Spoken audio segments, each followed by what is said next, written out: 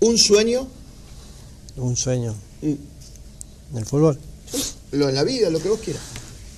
No, en el fútbol. Eh, obviamente ser, ser campeón del mundo.